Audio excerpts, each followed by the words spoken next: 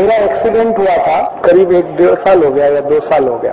एक हमारी बड़ी गाड़ी है, आज़ादी बचाओ आंदोलन की बस है पूरी। स्पेशल डिज़ाइन, वो पलट गया था पूरा। तो बिल्कुल उल्टा हो गया था। तब बहुत चोट आई थी। तो उस समय मैंने आर्निका इसकी सबसे ऊँची पोटेंसी सीएम लिया आर्निका आर्निका तो आर्निका की सबसे हाईएस्ट पोटेंसी सीएम जिसमें दवा सबसे कम होती है। और स्थिति ये थी कि मैंने जिस समय दवा लिया, उसके तीन घंटे के बाद मैं मेरे काम पे लग गया। और डॉक्टर ने कहा था कि आपको तो दो ढाई महीने बेड रेस्ट करना ही पड़ेगा, क्योंकि इंजरी है लिगामेंट इंजरी है, अंदर की इंजरी है, ये ठीक होने में मैंने कहा, तुम डॉक्टर तुम्हारी रखो, मुझे बस इतना बता दो कि कहाँ कहाँ इंजरी है। तो हमारा दोस्त ही है वो डॉक्टर ऑर्थोपेडिक सर्जन उसने कहा, इतनी इतनी है तो मैंने कैलकुलेशन कर लिया सी एम पोटेंसी का एक डोज लिया बस। तीन घंटे के बाद में व्याख्यान दे रहा था और लोग हैरान हो गए कि इनको तो कल एक्सीडेंट हुआ था, इनको तो बिस्तर पर होना चाहिए।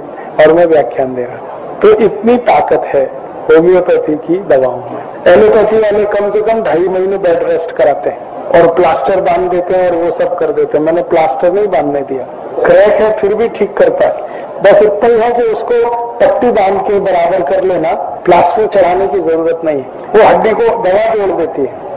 तो ये आयुर्वेद का एक सिद्धांत है, दवा को सूक्ष्मतम रूप में लेना। तो सबसे ज़्यादा प्रभावी है। ये आयुर्वेद का सिद्धांत है। ये जर्मनी वालों ने ले लिया, उस पर काम किया, फिर अपना सिक्का लगा के दुनिया में फैलाया।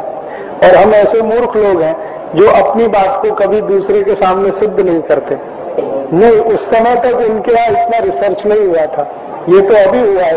ये पैदाइशी अपंग है, उन पे तो काम होता है, लेकिन हिरोशिमा नागासाकी से जो अपंग हुए एटॉमिक रेडिएशन से, उनके लिए औषध नहीं है।